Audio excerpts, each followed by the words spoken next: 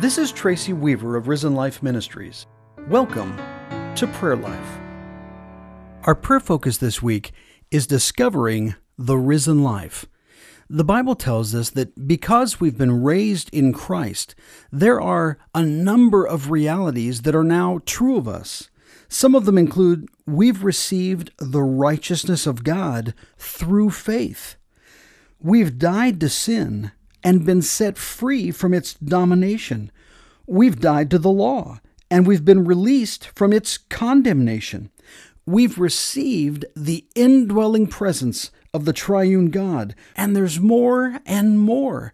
But, men and women, these wonderful truths can't transform our lives if we don't know them. So, Father God, we're asking that you would help us to freshly discover and understand what it means that we've been raised with Christ, that we are resurrection men and women.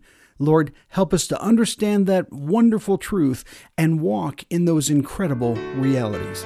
And we ask it in Jesus' risen name. Amen. This is Tracy Weaver of Risen Life Ministries, encouraging you to learn the risen life realities that are true of you. Join me again tomorrow at the same time for Prayer Life.